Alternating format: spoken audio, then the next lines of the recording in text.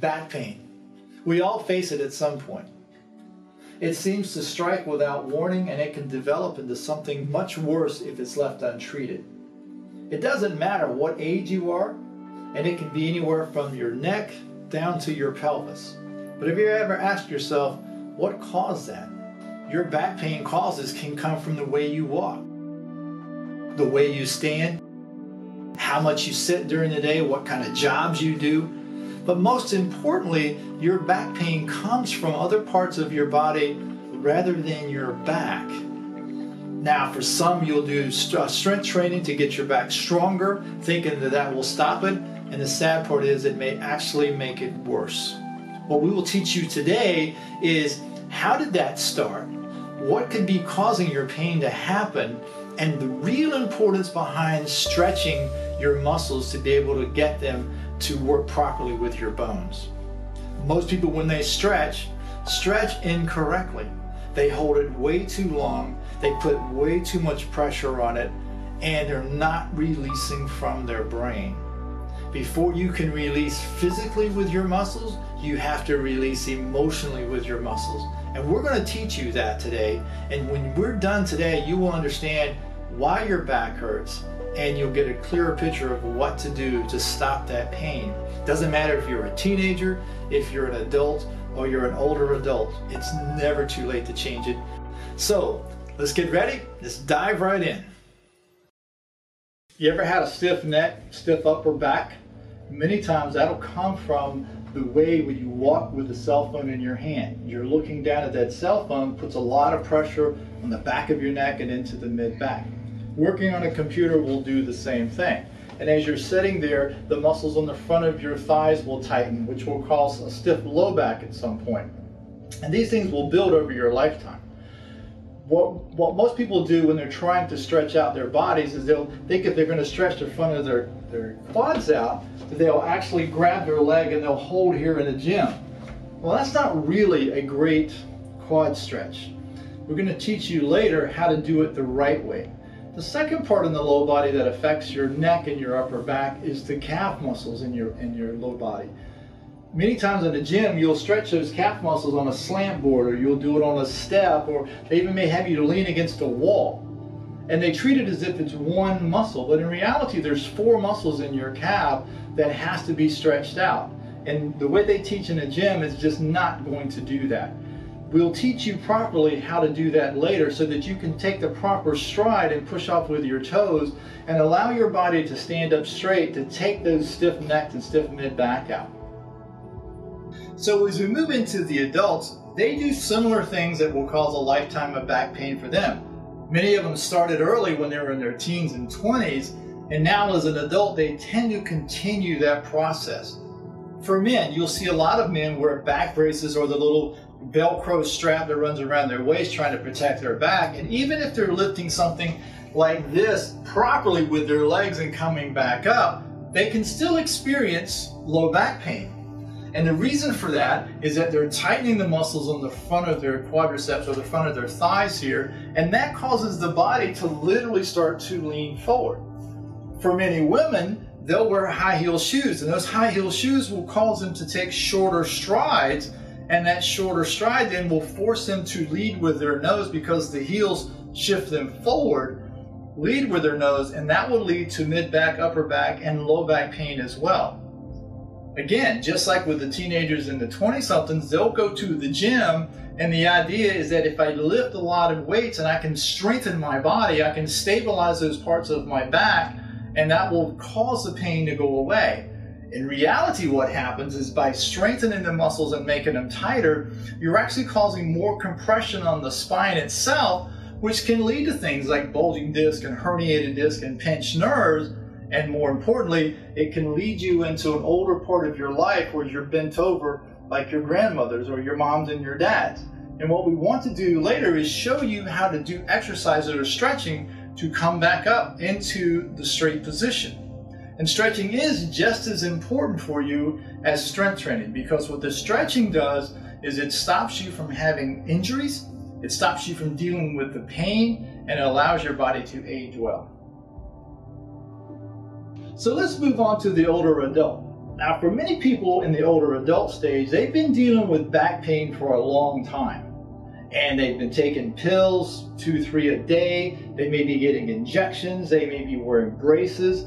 And for some, they may actually wind up with surgery trying to stop this pain. The downside is, is for many older adults, is they will stop doing the things they did when they were younger, thinking that it's just their age is causing that to be a problem, and they will sit a lot. And unfortunately, the more they sit, the more pressure it puts on their back because again, it shortens the muscles on the front of their thighs, it shortens the muscles on their inner thighs, it shortens the muscles in their abdominal muscle, in their abdominal area, and also shortens the chest muscles. Well, with all of those muscles on the front side shortening, there's no doubt that their body is just going to rotate forward like this.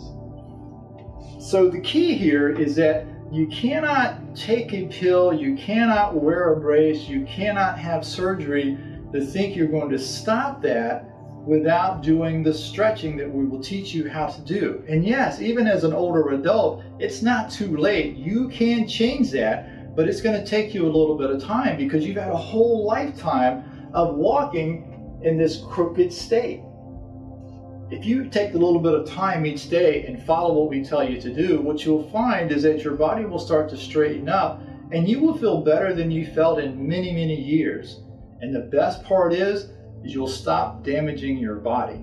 But you have to put in the work. As we saw with the teenagers as well as in the adult, as they're walking, their bodies will tend to lean slightly forward. Now that'll show up as back pain in the back, but many times it's coming from the quadriceps on the front. I'm going to use my client today, Susan, who's going to help me in stretching the front of this out. Now what I'm going to do first is show you how to stretch the front of the quadriceps out with someone's help. And then I'm going to have Susan to do it on her own so that you can see that you can do the same thing at home. So when you've got someone laying on their side in this manner, if you're helping them out, what you want is to have them to hold this leg with their left hand and you can step behind them and so you can put the, their ankle right on your hip.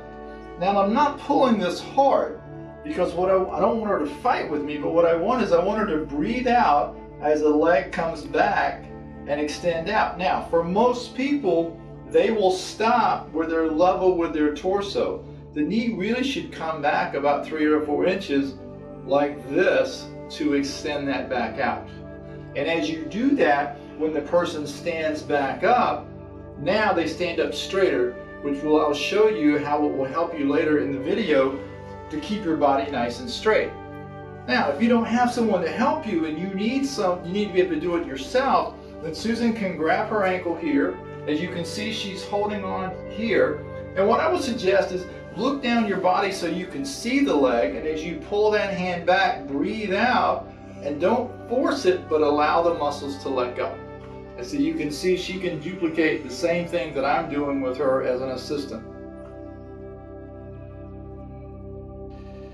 When we were talking earlier about teenagers walking, especially looking at their phone as they're walking down the sidewalk, many times what will happen, the calf muscles themselves will shorten, which will cause the ankle not to have as much flexibility as it's supposed to.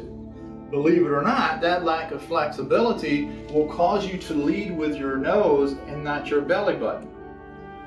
I want to show you how to stretch out the calf. There's four muscles in the calf itself, and you have one on the inside and the outside that controls your foot laterally for balance, but then you have two in the middle that controls the ankle to determine how well you step as far as how long your stride is and you being able to walk leading with your belly button and not your nose. When you're stretching your calf with someone who's assisting you, what you want is to have them to lay your foot up on the shoulder like that with the leg at 90 degrees to the body. It can lay on my shoulder in an assisted position and I'm using my hands not to pull hard but to gently pull the toes down towards her to stretch out the middle calves, which will extend the range of motion of the ankle. If I take this foot and turn it to the inside, now I'm going to stretch more to the outside, bring it back down, and each of these directions you want to hold this for three to five seconds and repeat eight to ten times as you're doing that. After you do this side, rotate to the opposite side.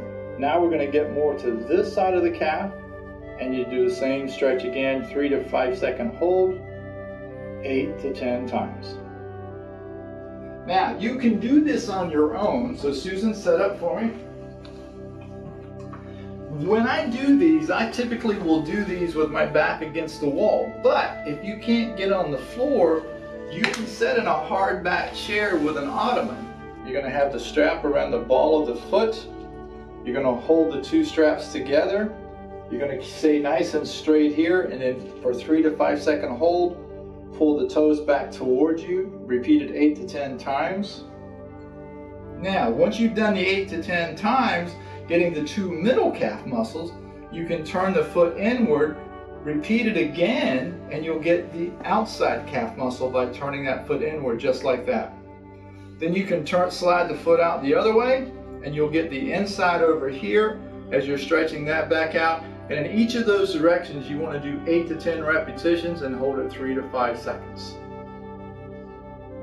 So the whole goal of these stretches is really to stretch the front side of the body so it makes it easier for the back side of the body to hold you up.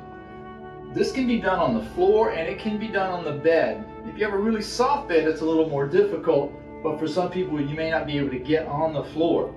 Start out laying flat like Susan's laying here. Now Susan, come up on your elbows. And as you come up on your elbows, look up towards the ceiling. Now the goal is not to hold tight here, but the goal is to release on the abdominal muscles on the front side. And this is going to allow the body to release. Stay in this position about seven to eight seconds. Go back down. Catch your breath for about two or three seconds and come right back up again and stretch. And again, you're releasing from the front side.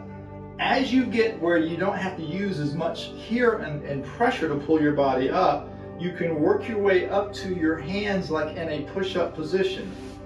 And what we're doing is releasing the abdominal muscles so that she can stand up straighter. Hold that for seven to eight seconds, release, and come right back down into a resting position. We're going to look at now the whole back. We've always talked about the low back, but we're also going to include the mid back and the upper back. But here's an important thing. From a teenager to an older person, the placement of the head will determine how much pain you have in these three parts of the back. And the reason for that is that there's two muscles that attach at the base of the skull, and those two muscles run down the length of the spine to the pelvis. The head itself weighs about 10 to 12 pounds. Every inch the head leans forward, that weight doubles. So in this particular case, you see guy's head is slightly forward, that's going to put about 30 pounds of pressure back here and into this part of his back. Part of what's causing that is not just leaning his head forward, but you notice the shoulders are rounding in as well. That is the result of the two chest muscles on each side shortening, causing his shoulders to round in. And again, it puts a tremendous amount of pressure here. For teenagers, you get in this position a lot, walking as you're looking at your cell phones as people age, they tend to do that as they're walking, looking down at the sidewalk, trying not to make eye contact. And for people who are even older, they may be doing it trying to avoid a fall. The key to it is to be able to look up with your eyes and look down. So you can see here, if I have Guy to bring his shoulders back, watch his head come up. Then as he releases and shortens his chest muscles, see how the head goes back down. Here's something that a lot of people will try in this position is that they think that if they strengthen in here, that they can actually cause themselves to stand up straighter all the time. And the truth is, is that unless you open these muscles up on the front side, no matter how much strength you put into here, these muscles will fatigue and go into a spasm. And then this will become worse. So we're going to show you how to, to lengthen the muscles on the front side of the chest and also on the front side in, in the neck area to get you back up straight. So guys, stand back up straight for me. And that's where we want you to be. As you can see, guy walking, he's walking in a heel-toe fashion, which will cause him to lead with his nose and not his belly button. And from the side angle, notice how his ankles are not bending and he's not using his toes. And then as you're walking back, it's still heel-toe. And that's going to lead to nose, leading by his nose and not with his belly button, causing pain. To walk properly, you want to lead with your belly button and not your nose. And to do that, it starts in your feet. When you take a step forward, you see how my ankle is bending here, and as you come up, you should be pushing off with your toes as you're going into your next step. So you want to step forward and then push off this way. As you're walking down the hallway, for instance, you can see I'm pushing off with every toe, every step, and I'm using my toes to push me off. By being able to push off with our toes, we can lead with our belly button and not our nose, and that's going to save us from low back, mid back, and upper back stiffness. So remember, go back, understand this calf stretching, get those ankles moving, and pushing off with your toes. Now that you see what we talked about and how your back pain didn't just start when you started having pain, but it actually started earlier in your life when you were much younger. How you walk, how you stand, how long you sit, what kind of jobs you're doing can contribute to a lifetime of, of pain in your back. Many of you may go to a gym thinking that if I strengthen my muscles, I can stabilize my back and that'll stop the pain. And you're only left with frustration because in many cases, it caused your pain to get worse and not better. And the idea is that when you are strength training your back, yes, you make your muscles stronger and yes, you make your muscles tighter, but you're compressing on the very bones that are causing the pain that you're dealing with today. Some of you may go and get injections.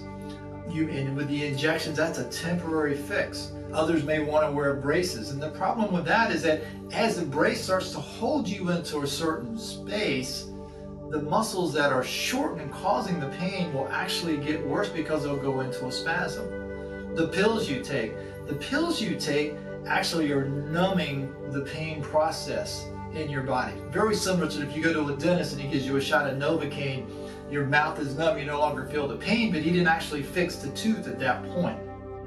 Surgery is another one. There's an actual law called Wolff's Law that says that the bones follow the muscles, which means that, that no matter what happens with your bones, if the muscles are tight, the bones are going to shift to wherever the muscles want them to go. So even by doing things like fusing your vertebrae or putting rods in your back, you're actually fighting with the very muscles around those bones that are causing the pain. And what we want to get across to you is it's the muscles. It's the letting go emotionally with your brain so that you can let go physically with your muscles. Now, don't get stressed about it where you have to work out or stretch an hour every single day or it has to be a certain time of the day. When I stretch my body, I'll do a few stretches throughout the day because stretching is very similar to eating. You know, when we eat breakfast in the morning time, we don't think something's wrong by lunch when we're hungry because we understand that our bodies burn that fuel from the food we ate at breakfast. Well, the muscles work the same way. When you stretch those muscles out, the minute you get up off the floor to start doing something, you're actually starting to create tight muscles again. So by doing it throughout your day, do a few things here, a few things there, you reduce the stress, you reduce the emotional stress on your body, and you also allow your body to stay in a loosened state most of the day. And the key to it is you actually doing the work. You have to do it. I'm just a guider. Your doctor is just a guider. Your physical therapist is just a guider. The whole key to this is you doing the work because you get to feel the inside of your body and you know when you start to be tight. And as you get tighter, then you then once you understand how to do these stretches, now you can start to change your life. And my goal for you is to live a pain-free life.